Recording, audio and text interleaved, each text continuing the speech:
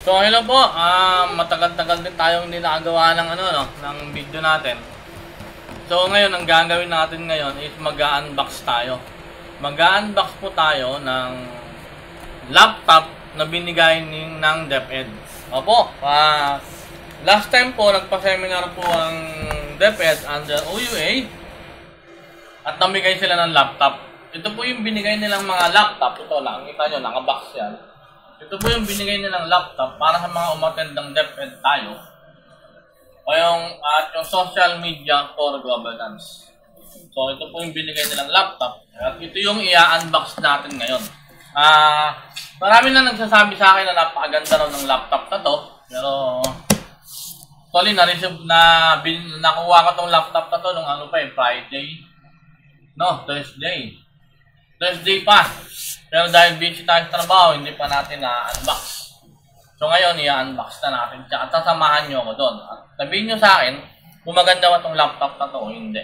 Magko-comment lang kayo sa baba. Ito po ay galing sa DepEd. Ah, napapansin nyo, yung mga galing sa DepEd ay kulay blue. Ito kayang laptop na to ay kulay blue. Ah, Intel Inside nakalagay. So kulay blue kaya to. So yun ang check natin, no? Kasi lately yung mga binibigay nilang mga DCP sa mga school is kulay blue. Kaya hindi ko pa nabubuksan, so hindi ko pa alam. Kaya natin ngayon kung kulay blue nga to. So, buksan na natin. Yan, excited na rin ako. Mhm. Ah! Yun.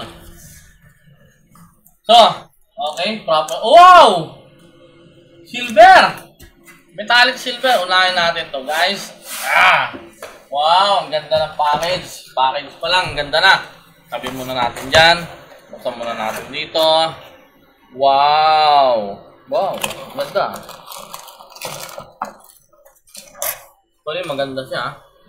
Meron siyang box. Ano ba laman ng box na to? Nakasunod pa. Buksan natin. Aha. Ah, yun. Yun. Ano ba laman nito? Ah, manual.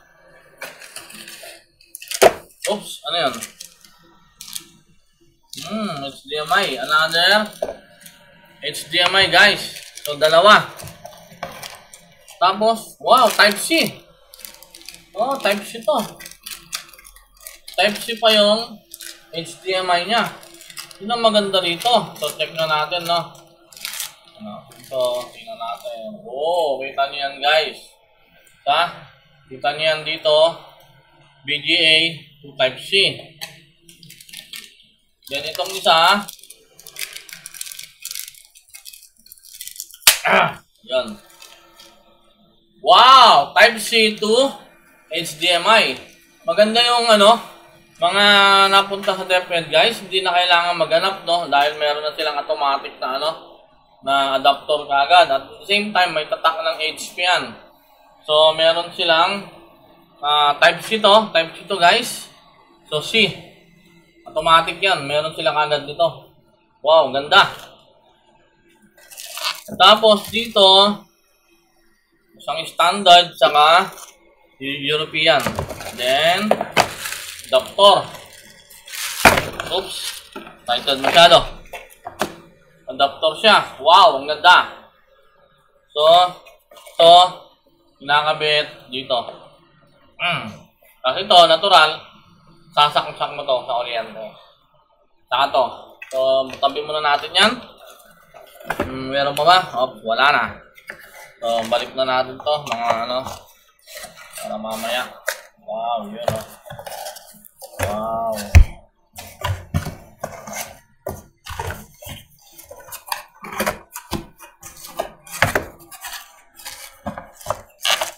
Fairness guys, maganda no? Maganda yung package pa lang. Maganda na siya. So, lagay natin to dito ulit. At balikan natin itong isa. Ito. Hmm, nagkamali tayo guys. Hindi siya blue. Tandaanin natin ha. Hmm, kita niyo yan. Mm-hmm. Guys. Ah, panalo. Mhm, yan. May tatak lang siyang DepEd, pero sticker lang siya. Sabi muna natin dito yan. Nakita niyo ang nipis niyan. Ito. Yung nipis na to guys. Ang nipis niya. Parang naiingit ako ah. Parang gusto ko to ah. Wow naman. Hmm. Tingnan natin kung hanggang saan. Wow guys! 360 siya. Oh. Hmm. Wow! Actually, ang ganda, ang ganda niya, guys. Dual camera, dual mic, no, triple mic. Apat ang mic niya, quadruple. O, alam ko, alam ko, ah, parang mic yan, alam ko mic yan. Tapos dalawa yung, dalawa yung webcam niya. Kung mapapansin nyo dito, ito, itong dalawa dito is mic yan for sure. Tapos dalawa yung webcam niya. Elite book. Maganda nga siya, guys. Gusto ko to. Alam nyo, ah, for the first time, ngayon lang nagbigay ng ano, ganito kagandang laptop ang DepEd. Magaganda rin naman yung binigay nila dati. Pero, hindi siya ganito kaganda. Dito na naman yan. For the first time, nagbigay si DepEd ng 360 na laptop. Sa mga ito, sa mga staff niya. Halos lahat ata. Parang yung mga ITO magkakaroon din ito. Then sa mga division office, magkakaroon din tayo nito. Sa regional, parating na. Mga regional office, parating na siguro yon Sa division office, base doon sa nabalitaan ko, baka next year tayo, uh, first month o second month ng 2020, mga January yan o February, magkakaroon na rin tayo ng laptop dito. Pero ito guys, napakaganda nito. Oho! Ang ganda niya talaga.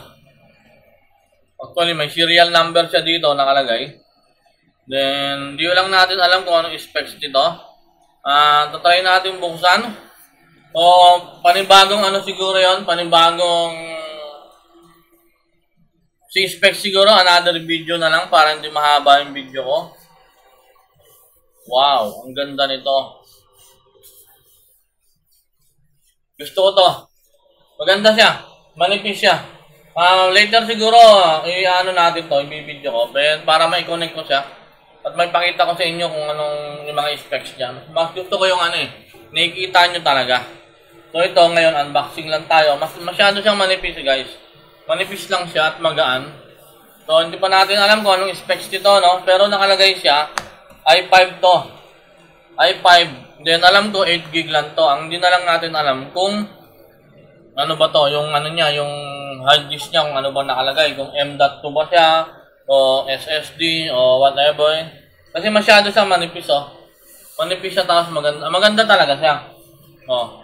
Kasi maganda talaga. So, yung touch and feel niya, uh, ha, nagpapasalamat ako sa DepEd. At sa, for the first time talaga po, ngayon lang po kayo nagbigay ng ganito kagandang laptop sa amin. Meron kami mga laptop na nare-receive dati, makakapal. So ngayon lang kayo nagbigay ng ano, ng ganito kanipis na laptop at nagpapasalamat ako sa administrasyon at naisipan nila na bumili ng ganito kagandang laptop para sa mga staff natin. Sana lahat, ang gusto ko sana, ang dream ko sana, lahat ng teachers, o kaya kahit muna ano, lahat ng coordinators natin, actually lahat ng coordinators natin may mga laptop na sila. Kasi yung mga ibang DCP natin, may mga laptop na yun eh. So wala tayong problema doon actually. Nauna pa sila nagkaroon ng ano ng laptop sa atin sa mga DCP nila. Dapat pinapagamit sa inyo yun, guys. Kung ICT coordinator ka, dapat nagagamit nyo ang laptop ng DCP. Na? Hindi yon dapat nasa principal. Kasi usually, dalawa naman yon hindi rin na, naman natin magsisisi na yung iba ay yung iba ay gamitin ng principal dahil wala nga silang laptop. Pero usually, wag naman na, nakikiusap naman ako sa ibang principal natin na wag namang ano, wag nyo namang iuuwi. Kasi po ay property ng school yon. Dapat po, ayun ay pinapagamit natin sa ating mga ICT coordinator. At pinapasa-pasa po yon kung sino pong may kailangan. Hindi po yung ginagamit pang personal lamang. Yun po ay para sa school at para sa mga bata. So, yun guys, no? So, siguro doon na magtatapos ang unboxing ko. Napakaganda niya. Oh, yung HP niya, ang ganda ng logo. Then, Elite Book pala to guys, kaya napakaganda. Kung makapansin ninyo, hmm, Elite Book, HP. So, Bang and Opal Sen. Ganda. Ganda yan. Pati ano. Ang nipis. Ang gaan. Sobra. Wow. May backlight siya. Parang may backlight pa siya. Buksan nga natin. Pero check na natin. Ay guys, may backlight siya. Try nga natin patayin yung ilaw. Try nga natin. Papatayin natin yung ilaw. May kasama ako dito eh. Oh, yun oh. Wow. May backlight siya. Ang ganda. Then, touch screen boy. Ang ganda niya, touchscreen siya.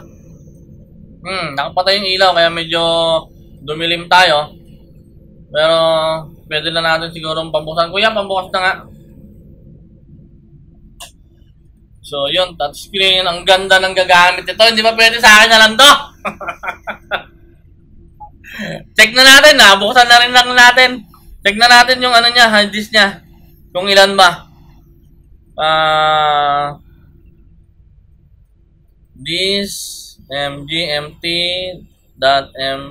mgmt.msc. Wow! Guys, 256. Hindi nga lang, hindi ko pa lang alam kung ano ah. Kung M.2 ba to o SS dito. Pero, ano siya eh. Maganda siya. I-try natin yun, ano shutdown natin. Wala pa tong laman guys, ano? Wala pa tong laman. So yan, pag bubuksan natin, then lang natin mag-off. So, check natin kung mabilis pa siya. Hindi na natin ita-timer dahil meron tayong separate tutorial doon para ma-check natin gaano siya kabilis. So, yun o. Oh. May DepEd logo. Embedded na yan, matic na embedded sa BIOS niya. Yun, ganun siya kabilis. Mabilis siya. Actually, maganda siya. Mabilis pa. Kaya ang maganda rito, pag ginanon mo, magiging tablet siya. Wow, di ba? No. So, so yan, oh. Tablet mode siya. Then may keyboard din siya, kung makapansin nyo. Yan, oh. Di ba? Kung makapansin natin, napakaganda niya. Tablet mode na siya. Pag inano mo, oh. Ang ganda niya. Oh, ang ganda oh. Diba? Sorry guys, napakaganda niya. Naiingit ako. Parang gusto ko nang gamitin to. Pwede ba ako na lang gagamit ito? Sir, ano? Ako na lang gagamit ito. Sir, ganda eh. Sana yung mga ano, yung darating na laptop sa aming mga ITO, ganito rin kaganda. Wish ko lang. Napakaganda niya. Automatic na siya, touchscreen, ano? Then, may backlight. Wow!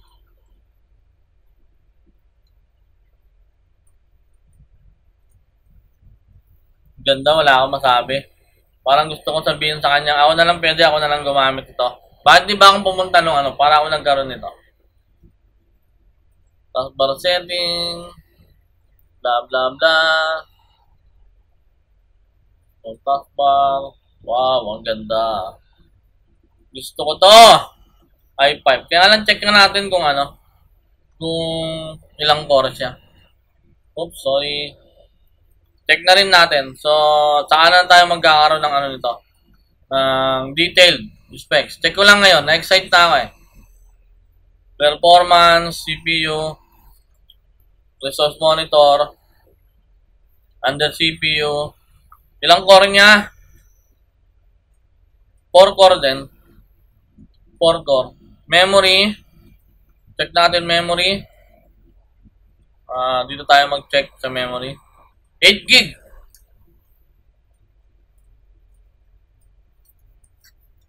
Kapag nyo. Dali lang. Kaya mag -ano. Pero dito na lang sa taas. 8 gig yan. Ayan o. 8 gig memory. Then, CPU is maximum niya 2.5. Siguro pwede bang i-max to?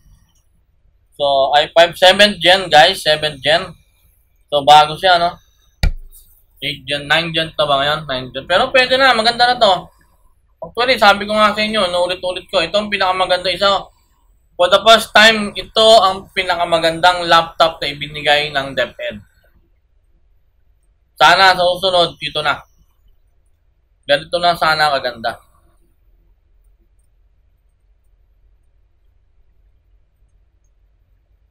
Wow, ang ganda. Actually guys, ang ganda niya. So, masyado ako na-excite dito. Naiingit ako sa gagamit eh. Sana ako na lang gagamit dito. Napakaswerte naman, Sir Jet. Ako na lang gagamit dito. Hindi, baka pwede lang naman. thank you, thank you guys sa panonood, ano. So, stay tuned lang kayo sa channel ko. Kung gusto nyo, mag-subscribe po kayo para updated po kayo. Paki-click din po yung bell para pang sa susunod na mga video ko, ma-update po kayo lagi. So again guys, maraming salamat. Till my next unboxing.